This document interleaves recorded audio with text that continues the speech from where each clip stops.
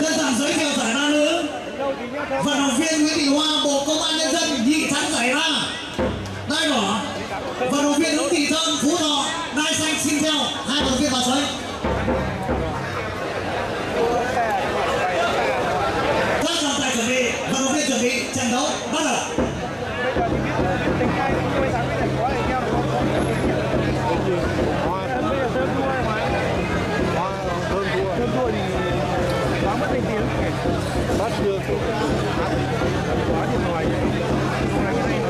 Hiện nay hai đôi nữ đang thi đấu ở giải ba của nữ do anh Nguyễn Di Gia, Nguyễn Đức Di Gia của Phú Keo con bà Vinh Giá treo trị giá tổng là 20 triệu đồng và giải ba là 3 triệu đồng.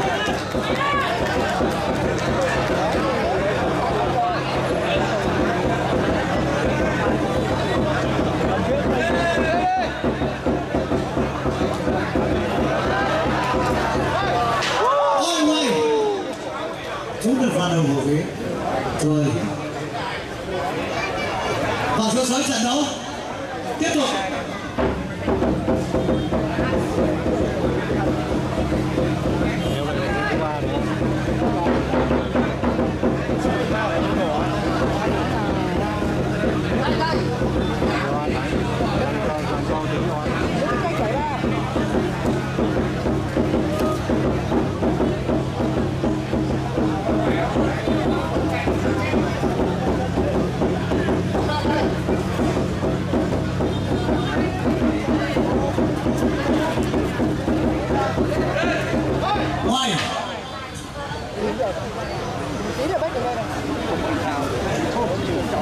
Trận đấu tiếp tục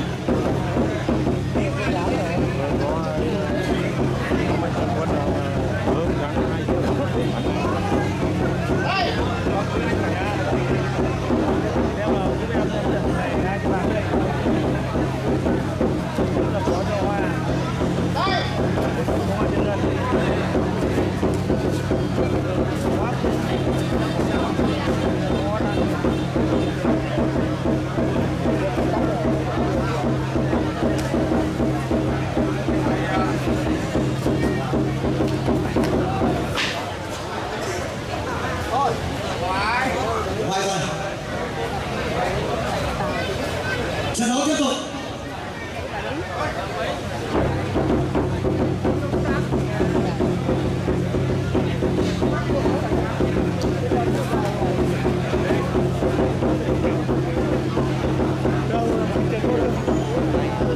Sau trận này xin mời Lô Kỳ của Liên minh vào sới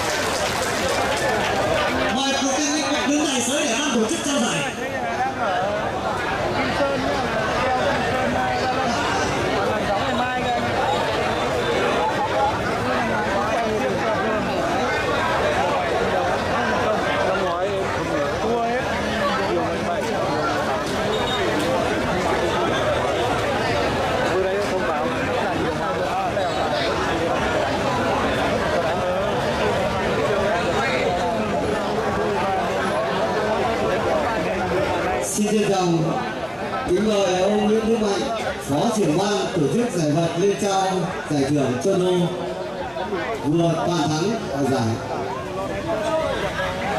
giải ba phụ xin trân trọng cảm ơn ông Nguyễn Đức Mạnh.